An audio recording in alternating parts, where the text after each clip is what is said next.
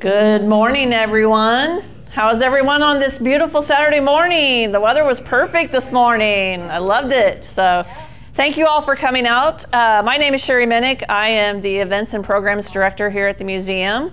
Um, I'm going to introduce you here to uh, Doug Meloan. If you don't know him, he is our curator and uh, Director of Vehicle Operations, and he's just going to he's going to wow you here with some fun facts about this Ford. So, thank you.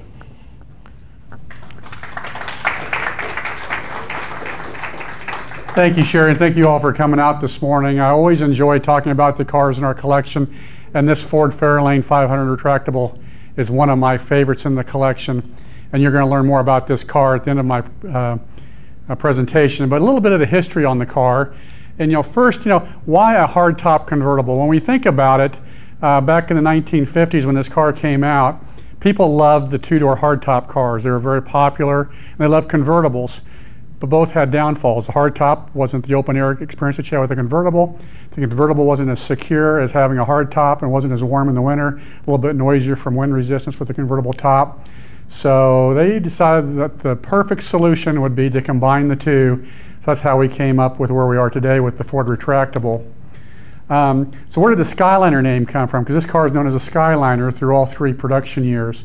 And it actually started in 1954 uh, on the Ford, and this is a 54. Uh, they're all about the same through 56, known as a Skyliner. Instead of having a full retractable hardtop, though, it had a, a acrylic, uh, clear acrylic uh, glass top uh, that was tinted green, uh, much like an overgrown sunroof that we have on cars today, but something very new for the 1950s.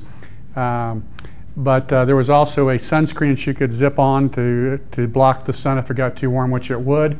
But on the Fords, they were, they were based on the Ford Crestline. And then Mercury also came out with one called the Sun Valley. I've heard reports that those cars really got hot on the inside because of those acrylic uh, roofs. So the Sun Valley name just seems to be more appropriate to me. Uh, it makes you think of heat. But uh, uh anyway, that was based on the Monterey and the Montclair. So anyway, the Ford uh, Skyliner name comes dates back to 1954. There's also, and this confused me for the longest time, there's also a Ford Sunliner. What difference is the Sunliner is the soft top. And this is a 1957 Ford Fairlane 500, just like you see in front of you here, but with the soft top. So it was known as the Sunliner. This car here, this 1941 Chrysler Thunderbolt, was a concept car uh, this was a, a, a, retractable per se, a kind of a clamshell roof that folded in the trunk. Uh, they built five of these back in the early 1940s. Alex Tremulis was the designer of this car. If that name Alex Tremulis sounds familiar, it's because you probably heard of his name brought up either with the Cord, because Alex Tremulis helped design the Cord, like we have one of them out on our display floor. He also played a very big role in the 1948 Tucker.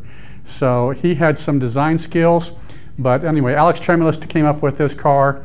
So this next gentleman we're going to be talking about, Gil Spear, had seen this uh, Chrysler and he got inspired by it. And he was the one that thought, well, I think we can come up with something for a production type car. Gil Spear worked for Ford Motor Car Company. He was very artistic, kind of a designer, but he was also good at solving complex engineering issues. So Gil started designing some, some thoughts on how a retractable might work. Uh, his first design for the retractable was kind of unique, and that is that the hard top on the top instead of folding in the trunk, actually would come back over the deck lid with the back window coming up over where the license plate would be on the back. So just kind of slid back and down, but was still exposed up on the top. And that was the one he first proposed to Ford, uh, to the board of directors. And he made actually a little 1 8 inch uh, model, he called it the Roof-O-Matic. And it, you could wind up with a paper clip and a rubber band or something that would operate. Anyway, he took that to the board of directors, and the first time it failed and the roof shot off. One of the board members had to apparently catch it in his hand. But he got to work again the second time, and they were really thrilled with, thrilled with how that worked and really thought maybe this is something that we could do. But uh, the board of directors, one of the board members in particular said, you know, if you really want Ford to be sold on this, we need to get the roof off the trunk and get it inside the trunk. We need to figure out a way to get it tucked into the trunk.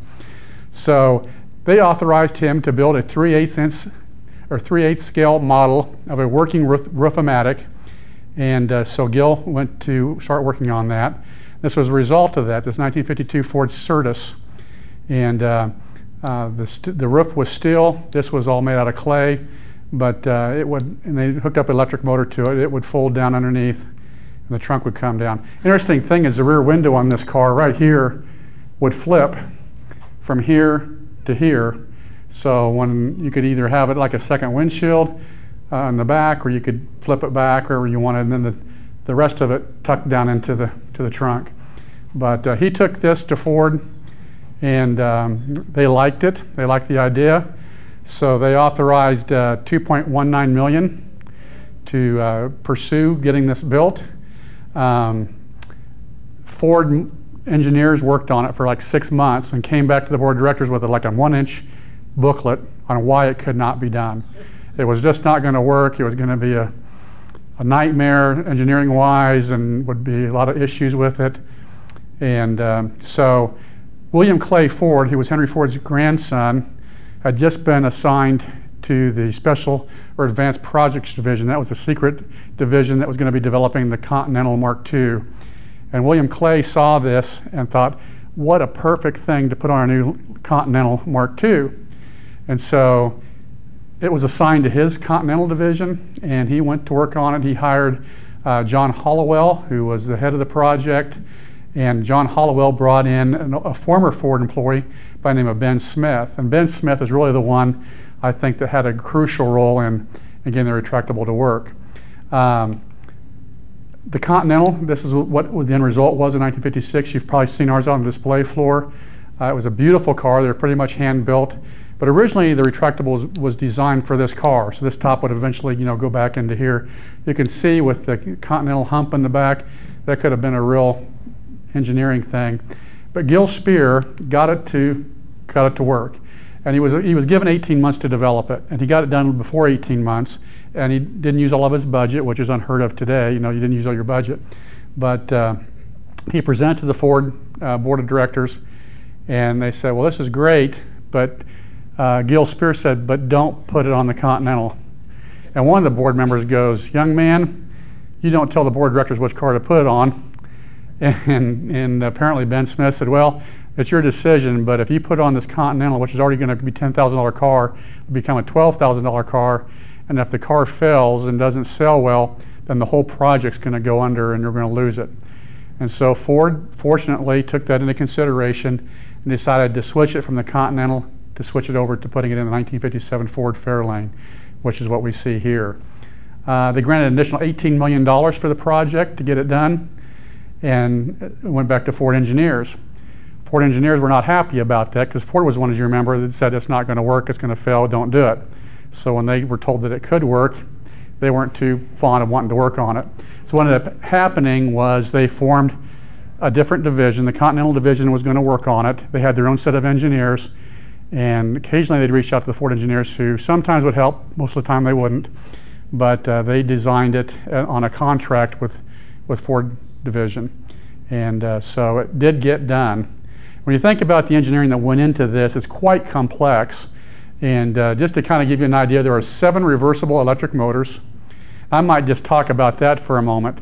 Um, ben Smith, the guy that was working on this, knew that he wanted to be electric. He didn't want to be hydraulic because the biggest nightmare was if there's a hydraulics in the roof and a line broke or something, if the lady sitting in the front seat doesn't want to have a hot hydraulic oil spraying on her. So he said, we can't do that, we got to do electric.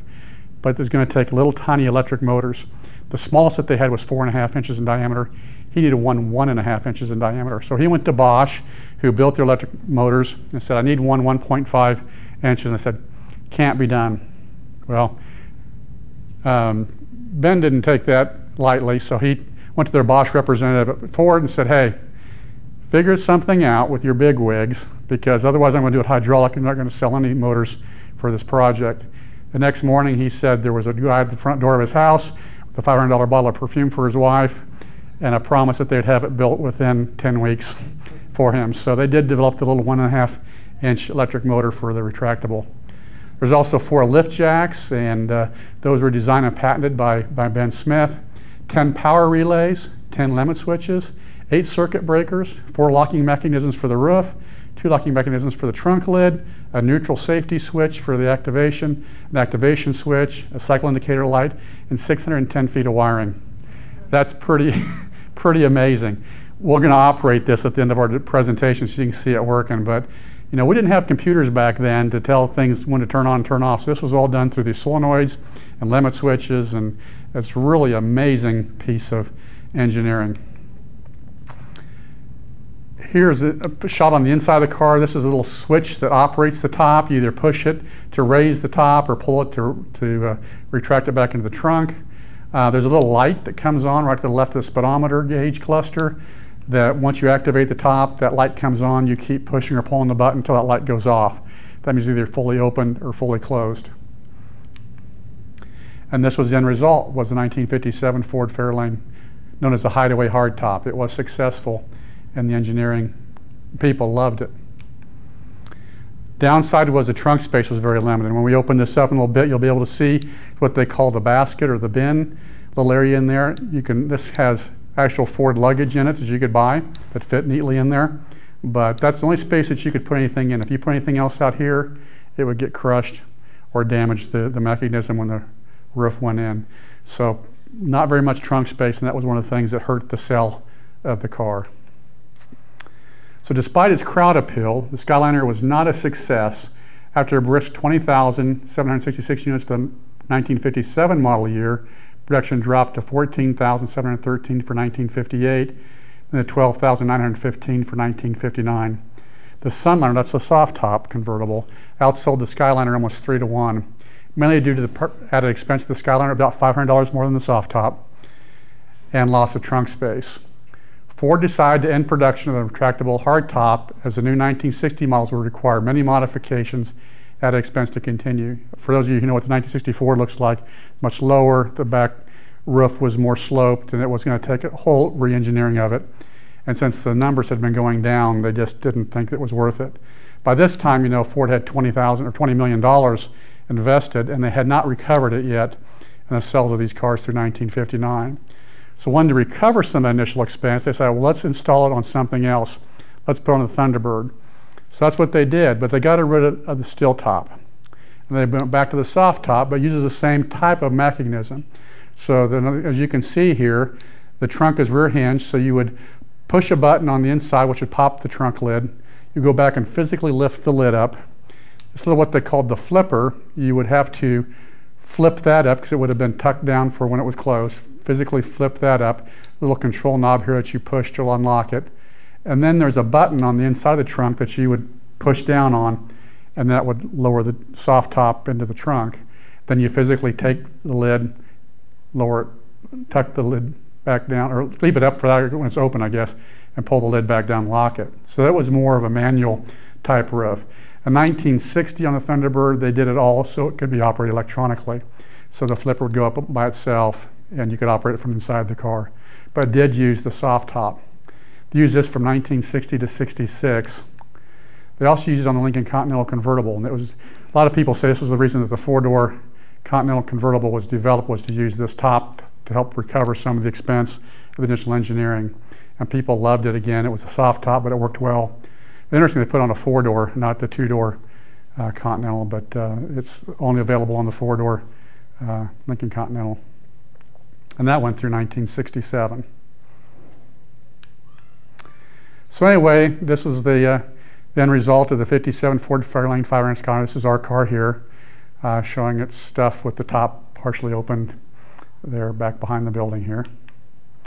The tail end uh, on the 57, you, I want you to look, watch the changes as we go through these years, what changes. The rear end on the 57, uh, small circular lights, a little bit of a tail fin, which is you know still popular in the 1950s. Uh, massive, uh, bit large bumper. This has a dual exhaust, uh, two-tone paint finishes, very common in those days. The dashboard on the 57, here we have the kind of the crescent-shaped speedometer. Here's a little light indicator that comes on when you're operating the top. Uh, this car has power steering, uh, power brakes, SwiftSure power brakes, automatic Ford-O-Matic two-speed transmission. Um, over here we have the heater and defroster controls, the AM radio, the clock, ashtray, glove compartment. Down here we have the ignition switch. On Ford it's unique, it's on the left side. Um, then you have the uh, um, uh, vent control for the air return. I'm drawing a blank, I can't remember what that one is. Lights, lights. Uh, on this side, you have the right control, uh, the lighter, and the windshield wipers. Um, so anyway, notice the black knobs, black gear shift knob, uh, black knobs on the controls here. Because when we go to next year, it's going to change a little bit. And the 57 colors, beautiful colors of 1957 for this car. Uh, you can see a whole rainbow of colors. Uh, our car here is finished in what they called silver mocha poly and dusk rose. Um, I'm going to tell you a little bit more about those colors in a little bit, but uh, uh, the dusk rose was a Thunderbird color, so it was a special order color. But you can get a whole bunch of, you can paint them all single color or two-stage, uh, two-tone paints. Here's the 58 Ford Fairlane 500 Skyline. You notice a change in the grille, much more massive. What do we notice also different on the front of this car? Anybody? Headlights. The headlights. We come to four headlights. Those are made legal now in all 50 states in 19, well not 49 states in 1958, I guess. Um, uh, to have four headlights. Prior to that, you can only have two lights. You have a high beam and a low beam light. Of course, that was the new thing, so all cars were coming out with quad headlights. Uh, so we see that on the first time on the 58 Ford Fairlane. Uh, the stripe, the anodized gold stripe, a little bit lower on this car. This profile looking very similar. Go on to the back of the car and the tail lights change significantly. Remember we had the little round singular ones on the 57. Now we're going to this quad light setup. Um, here again the massive uh, rear bumper. The dashboard much brighter, lighter, and that's just a change from going from the black to the white. The, the, back face of the speedometer is now white instead of the black. We have white knobs and control knobs, uh, but outside of that, very similar dash layout uh, to the 57. This has aftermarket uh, air conditioning. You can see tucked underneath the dashboard there. And the colors for the 58, still beautiful, a big range of colors, not quite as vibrant as they were in 1957, uh, still a pretty uh, arrangement of colors. Then we go to 1959, and quite a few changes in 59. Uh, we've got the massive, uh, large round tail lights little backup lights hidden up here in the tail fin area. Uh, this car has the Continental kit. It's not uncommon for a lot of these retractables to use the Continental kit because the spare tire, if you don't have the Continental kit, is hidden underneath that bin that held the luggage. So if you need to get your spare out, you had not only open the, the top up, you had to use some wing nuts remove the bin, then there's bolts to hold the little cover over the spare tire and pull it out to get the spare tire out. So it was, it was a complicated thing if you had a flat tire. So a lot of people use the Continental kit. Personally, I think these look hideous on the back of these cars. I don't like the way they stick out so far. It looks like a boat diving ramp or something. I don't know. But uh, we had the option of putting it on this car when we ordered it, and I said, uh, uh, I don't, I don't think that looks as good. So um, but it was common to see those on retractable hardtops. Beautiful aqua color on this car. Um, here again, we still got the very same type of a, this one's not gold, but very similar type of a side stripe there. Um, front, much different. We have the four headlights, but the grille's entirely different, more clean than the 58. We've lost the mock air intake that was on the 58 hood. That was just decorative. Uh, much larger looking car And the dashboard on it. Very similar, and the only change was in the speedometer. Instead of having the crescent-shaped uh, speedometer and gauge cluster, it was more oblong, uh, but we're still using the lighter colors um, to, to keep it air, airy and light. I always loved on these 50s cars that the interiors and exteriors kind of blended in the bright colors. Or they were just fun cars to get in and, and drive. And here's the colors for 1959. Here again, quite a range, a little bit more subdued. As we're getting closer to 1960, we're losing, starting to lose some of the pastel colors. Something that was also on the 57, it came out in 1956, was their lifeguard design safety features. And you'll see a lot of those on this 57 here. And one of them was the deep dish steering wheel uh, that was designed so if in the event of a crash, you, the steering wheel would flex and you wouldn't have that hub right into your chest right away you had about four or five inches crumple zone. You had padded dashes that were available, uh, double locks on the front doors, so upon impact it had a double lock so the door wouldn't swing open and fling you out because seat belts were something that was still new on a lot of cars. Ford had introduced seat belts on their cars in the mid 50s. People hated them. They just they tend to roll them up and tuck them down the seats. They didn't want to sit on them. And like Lee Iacocca said, you're not supposed to sit on them. You're supposed to to latch them. Um, but uh, uh, people didn't. But uh, they were installed on Fords. Uh, but people thought it meant the car wasn't safe. You know, had seatbelts, and the car must not be safe. This wasn't. We weren't to that point yet of looking at safety. But Ford was really about safety in the mid 1950s, late 50s. So they call it the lifeguard design safety features. This car has has those, as you'll see.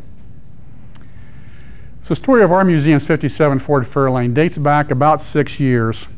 We'd gone to a, or I should say, not we, I wasn't. Ward Morgan and one of our board members went to a Mecum auction in Kansas City, and this car was there. This is the picture of it that they took. Um, Ward fell in love with it and bid on it, but uh, lost out on the bid. And he says later, I wish I'd have bid a little bit more and got it. But anyway, they didn't get it. And so Ward had told me about this car, and he told me about the colors of it. And so for the last the next four or five years, I was on the search for one. You know, I was really looking for one. I could find this car in the Sunliner in these colors with the soft top, but I could never seem to find the retractable. And so I'd just about given up, and we were looking at very serious a 1959 model that was a two-tone blue, beautiful color combination on a 59 Ford. But I just always liked the looks of the 57 better. Just to me, it was more stylish. And so we were about ready to make an offer on this 59 Ford, and it just come out of restoration. A guy down in Arkansas, Springdale, Arkansas, by the name of Jerry Miller, had restored that car. So I called down to talk to Jerry Miller to find out about the restoration and what he thought of the car. And during our conversation, I just happened to mention to him, I said, well, I said, we're kind of selling on this car because I said we had seen a 1957 at the Mecum auction seven years ago or six years ago, and this color combination. And he just started laughing. I, thought, what's he laughing at? He goes, he goes, I did that car. I was the one selling that car at the Mecum auction. Sure enough, look down here. It's got his name on it, Jerry Miller. I didn't pick that up at first, you know, but after he told me, I said, oh, he says, I'll tell you what. I've got a car down in Texas I've been thinking about buying. It's in a, in in a field, but he said it's a dry, it's a pretty much rust-free car. So I was going to buy that car and restore it. He said, if you guys are interested, let's buy that car and let's restore it in those color combinations exactly like you want. So that's what we decided to do. It was a fun experience. We went down and visited Jerry at his place down in Springdale, talking about a cool place. This guy specializes in building these cars, mainly retractables, but also Sunliners and, and Rancheros of that period, but mainly, mainly Skyliners.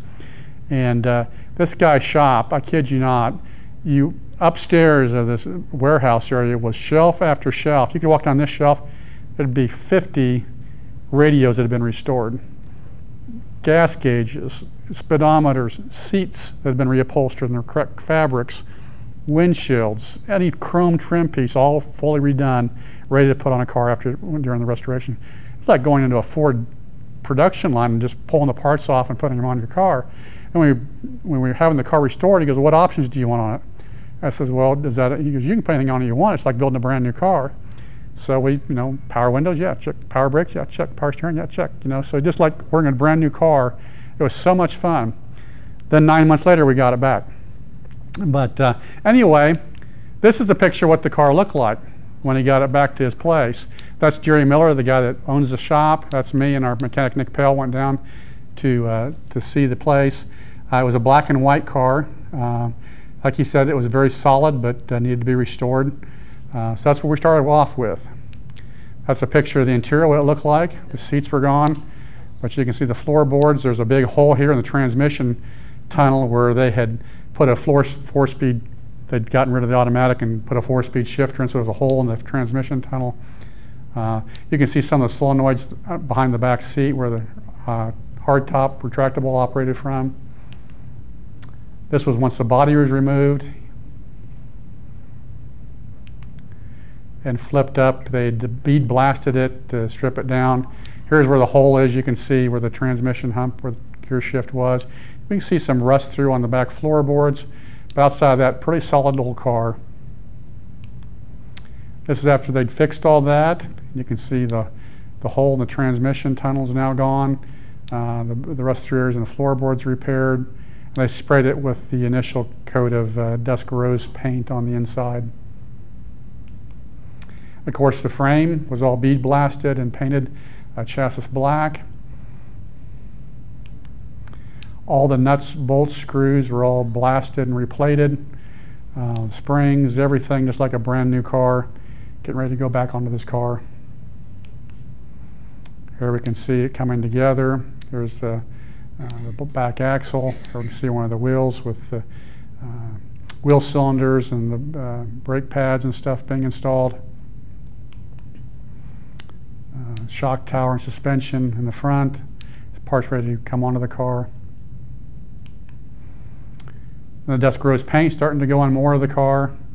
You can see all the work is being done. These two holes here hold the roof uh, supports for the retractable. That's one of the things the Ford engineers had a fit about, uh, the design team, because they didn't originally have a trim piece planned for that. It was just supposed to be smooth. So now they're going to have to develop a trim piece to cover that up. They thought that was too much hassle. But um, anyway, beautiful trim piece that eventually went on there. Uh, but um, here's the car getting ready for paint. Inside view of the back trunk area, and we see this starting to come together, and they're checking fit and fit, fit and stuff before they send it to paint. Exterior paint.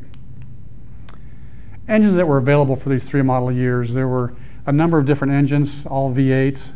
Um, the least for the 1957 model year was a 272 cubic inch. The most powerful for 57 was a 312 cubic inch, known as a Thunderbird V8. That's what this car is equipped with. Uh, then different engines, you know, they kept getting more powerful through 59. That will show you the different uh, cubic inches and, and uh, horsepowers for the different engines through those three model years. This is what the engine looked like that was in our bone car. And they, I don't believe they actually used this engine. They had another engine that was in the process of being restored, which I think is what they used. Because we wanted a Thunderbird V8. So this is the engine when they're getting ready to paint it. It had been rebuilt. Um, I always looked at these, I thought these valve covers looked nasty. Well, those are just there for paint. They, those aren't the ones they use. Um, the transmission, the Ford-O-Matic transmission having been rebuilt and prepped for installation. And then the body, getting ready to receive the engine and transmission. Then the engine, once it's reinstalled in the car, you see what a beautiful job they did. It's got the optional Thunderbird uh, chrome valve covers on it. Um, but just a beautifully detailed down to having the correct labels and stuff on the engine bay, in, in the engine bay. Here we can see the two colors now mated up. We have the, the silver mocha tint, interesting name for brown to me, but silver mocha tint, and the dusk rose. Uh, chrome trim has not been put on yet. Starting to install the interior.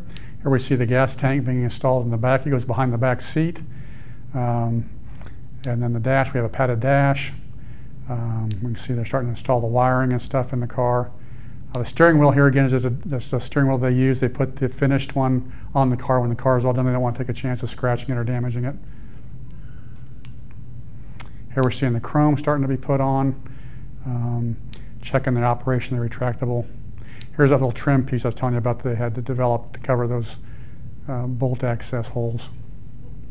Here you can see where all the solenoids are going to go for the operation of the top. And we talked about with the spare tires that goes underneath this wood wood panel here, but uh, that bolts on. Then the suitcase bin sits on top of that.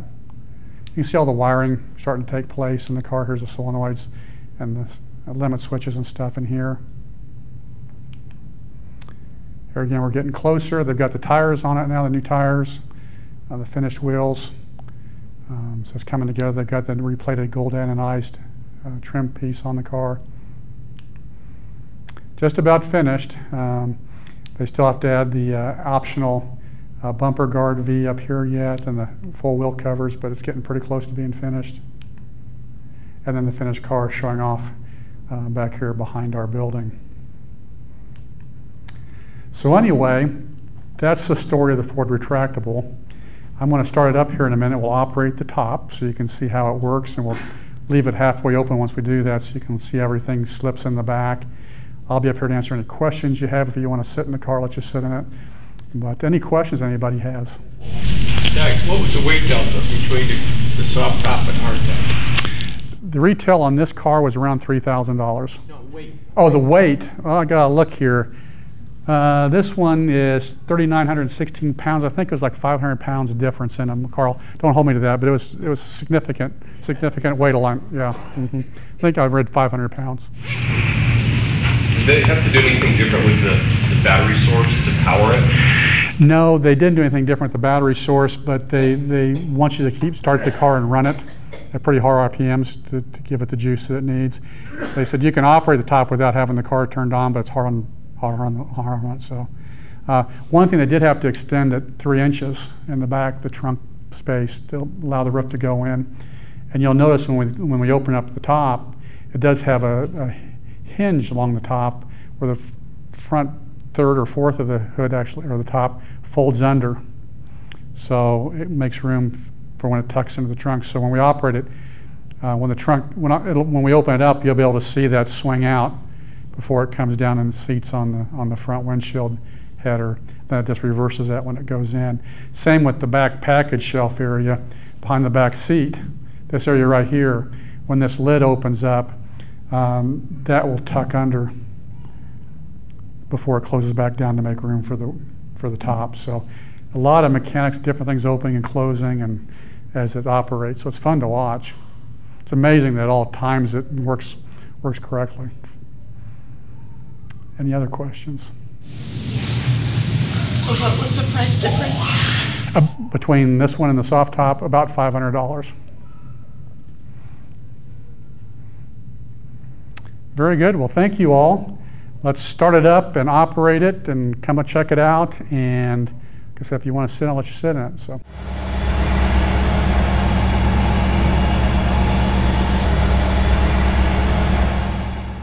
Now that we have the rear end open here, we can see how all the mechanicals for the retractable hardtop work and the features inside the rear end here.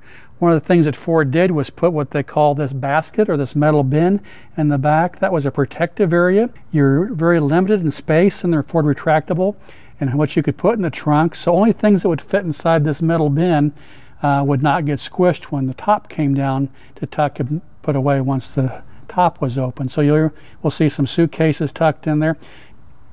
Underneath this bin is a spare tire, which you can see there's a couple of attachment bolts down here. So you'd have to remove this bin by turning the wing nuts, removing this, taking that bolt out, lifting that up, making sure your top's up high enough to be able to pull the spare tire out.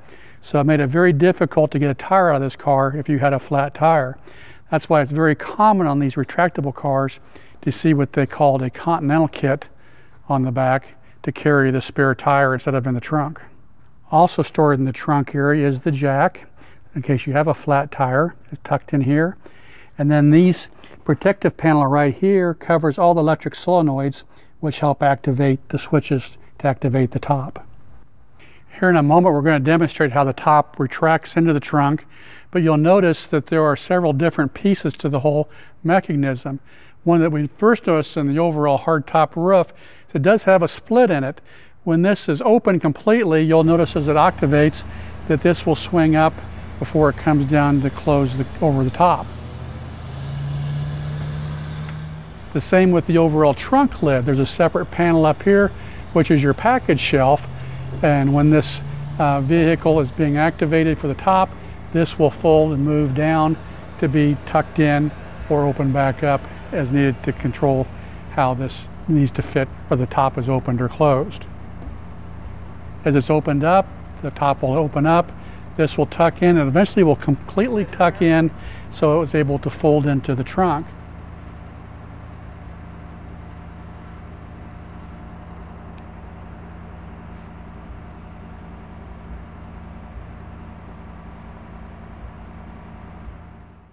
To activate the TOPS operation, first thing is the car has to be started. So we will go ahead and start the vehicle here in a moment. Once the car is started, we will put it in neutral. Neutral is what activates the control switch to be able to be turned on for the top. And then once it's in neutral and the car is running, we'll either push or pull the button, depending on whether we want the top to go up or go down. And once we do activate it, there'll be a red light that will come on over here. That red light lets us know that the top is in motion and you need to keep pushing or pulling the button until that red light goes off. That red light, when it goes off, lets you know the top is completely secured up or down.